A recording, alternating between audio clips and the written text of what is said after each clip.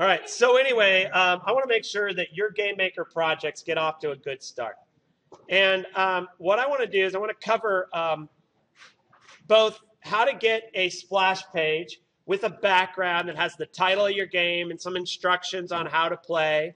And then find a way that you can allow the user to get from the splash page into gameplay mode. And then you're going to have two objects we're going to cover today. One object that will initialize your game and set all the variables you need. And you're going to have another object that's going to manage score, health, and lives. And in a later tutorial, you're going to use that same object to display a heads-up display using sprites and graphics like a health bar and how many lives you have left visually created. So in order to do this, we're going to start with a new game. And the first thing I'm going to do is create a background for my splash page. So I go to the backgrounds folder, right click and create a background. And we're going to call this BG for background underscore, and then I'm going to write uh, splash. And you could put title screen, whatever makes sense to you. Okay, so splash. And then what I'm going to do is, uh, if I had an image ready to go, I could just load a background. Okay, um, or I can create it. So what I'm going to do is I'm going to create it. And then later on, you can decide if you want to create your own background splash pages and load it. That's an easy thing. You just click load and find where you saved it. But I'm going to show you how you can use the image editor on GameMaker to design it right in here. So um, first thing I want to do is I want to change the size of this to be the size of my main page. Um, all game rooms by default are 640 by 480. So if you notice, I unchecked this keep aspect ratio and I typed in 640, 480.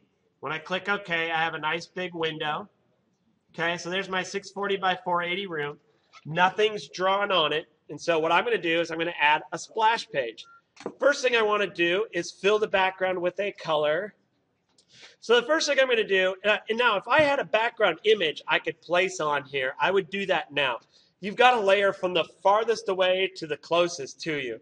So if you're going to put in some text and then try to fill it with a background color, you're going to have to fill in all the little O's and things. So we're going to start by filling it with the color first. And we have this color mode, blend or replace, color only. Uh, I'm just going to pick a color. So I'll use some kind of a teal color or school colors. And paint bucket, there's our background color. And then what I'm going to do is I'm going to click on the type tool. And in order to draw text, you want to set the font first, then pick a color, and then plug it in. So you can see here, there's my font editor. Uh, and pick a one that's readable, but one that kind of fits your game. If it's more sci-fi, you might want to use Terminal.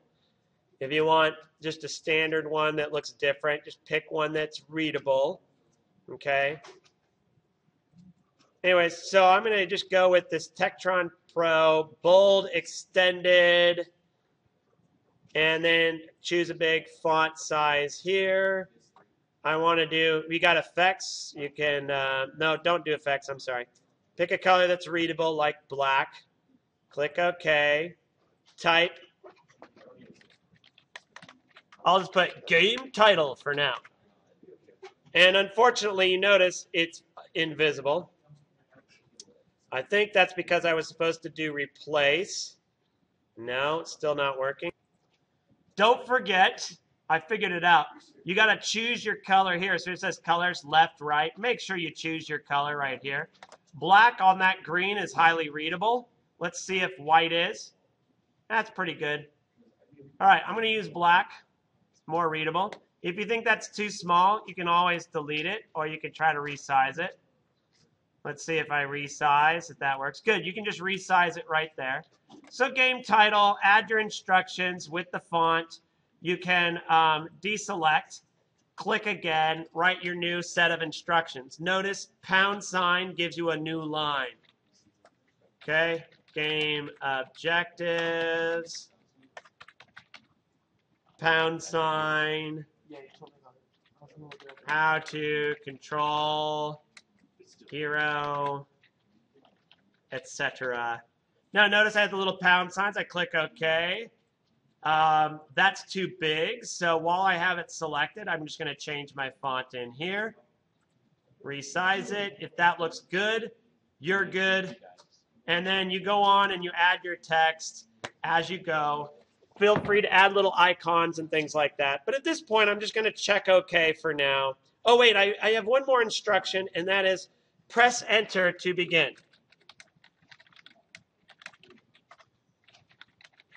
Click OK. And I'm going to check it. I've got my background here. I'm going to click OK. Now what I want to do is add it to my first room. So I right click, create a new room, click on background, find my background image, BG Splash, take this off. I can see what it looks like, maximize it. There's my whole room. Um, I want to adjust this image later, but I can go in and edit that under background. And when I'm done editing it, it will display on here the newer version of that splash page background. Okay, so I've got our splash page ready to go. Now what we're going to do is create an object that will initialize the, the, uh, the game. However, before I do that, notice we got room zero. We're going to rename that. Um, I'm going to call it R. Oh, hold on. I got to title it here. Rename RM underscore splash. And then I'm going to add another room. It's called room one. That's pretty close. I'm just going to rename that to RM underscore one. This is called naming convention. I'm being consistent. Everything that's a part of GameMaker starts with two letters or three letters to indicate what it is. Then I have an underscore, and then the specific name of the room or the background.